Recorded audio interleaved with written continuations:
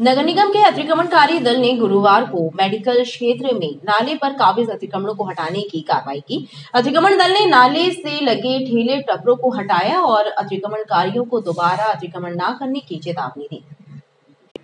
नगर निगम के अन्य क्रांति विभाग के दल ने गुरुवार को मेडिकल क्षेत्र में सार्वजनिक नाले पर काबिज अतिक्रमणों को हटाने की कार्रवाई की। विभाग का अमला मौके पर पहुँचा और जेसीबी मशीन की सहायता से नाले पर काबिज ठेले टपरों को हटा दिया।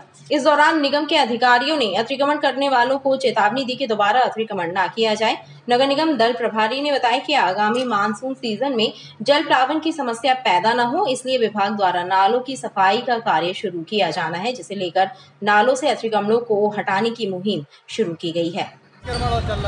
मेडिकल में कार्रवाई चल रही जल प्लावन की एक्चुअली जहाँ जहाँ नाला में बाधित अतिक्रमण हो रहे हैं ना उनको अलग करवाया गया है। कि ना पानी प्रॉपर तरीके से बह सके बारिश में कोई समस्या ना जाए। छः से आठ टपरे हटवाए गए यहाँ से। और भी आगे कोई कार्रवाई? आगे कार्रवाई की जाएगी। अतिक्रमण की कार्रवाई से अतिक्रमणकारियों में अफरा तफरी नज़र आई।